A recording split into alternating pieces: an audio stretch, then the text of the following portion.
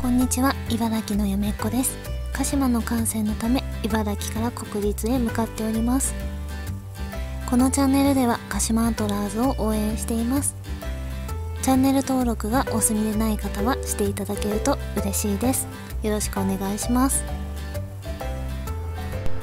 この動画では2023年5月14日に行われた鹿島アントラーズ対名古屋グランパスの観戦記をお送りしています。東京駅近くに車を置いて銀座線青山一丁目駅で降り歩いてきました。国立競技場が少し見えてきました。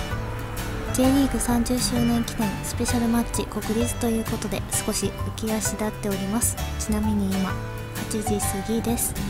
青山一丁目駅から10分ほどで着きました。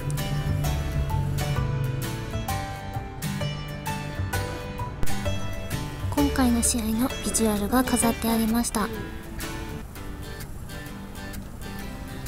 イケメン発見です。誰かのポスターが剥がれちゃっています。オフィシャルショップの列が右側です。東京体育館側のスタグルエリアに来ました。キッチンカーが並んでいます。ラーメンもつ煮。丸ごとメロンクリームソーダなどが出店されています。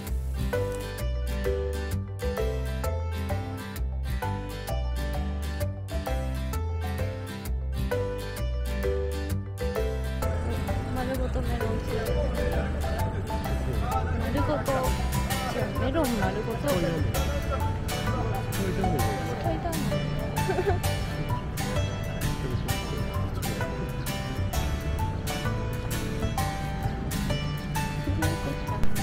ゆめこちゃんが来てますね。ゆめこちゃんは夢牧場のジェラートです。チキン南蛮や牛タン丼。唐揚げ屋さんが来ています。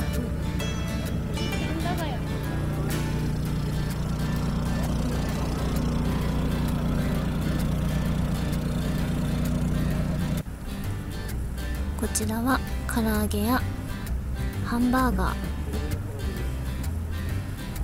かき氷屋さんです。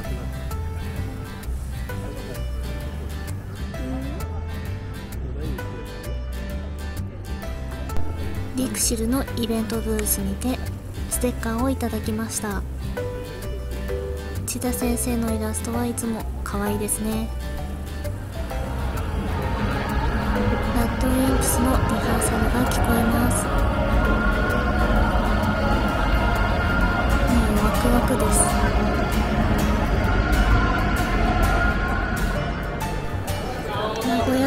屋サポーターにも優しい鹿尾さんがいらっしゃいました。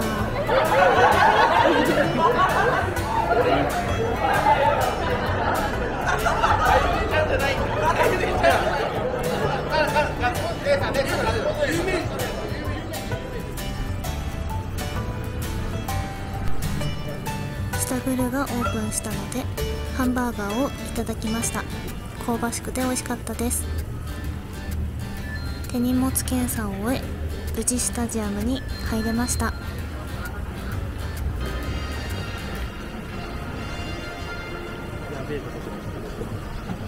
目の前だ。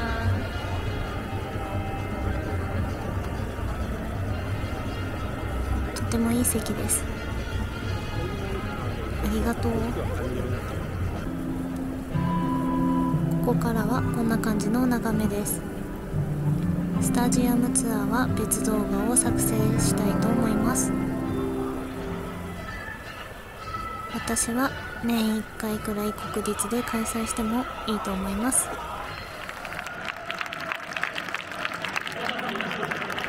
ゴールキーパーのウォーミングアップが始まります。早川選手と沖選手がピッチに入ってきました。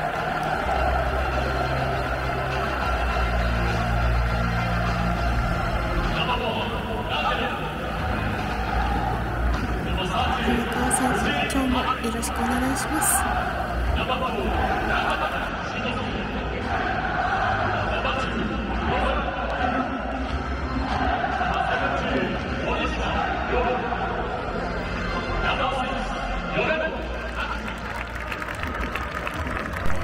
選手たちが入ってきました。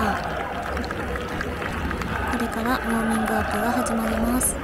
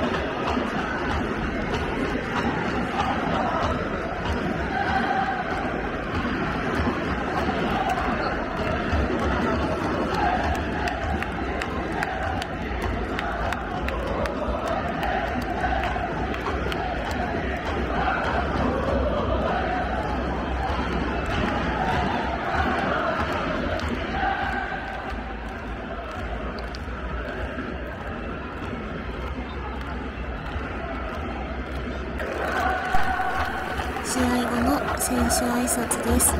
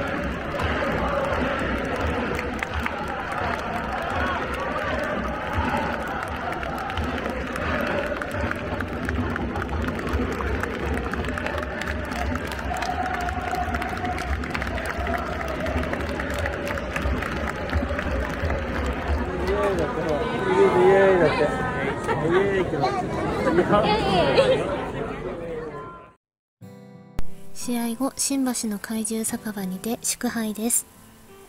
5連勝です。大変嬉しいですね。次は SC 東京戦です。小泉圭選手が楽しみです。最後までご覧いただきありがとうございました。では次回もよろしくお願いします。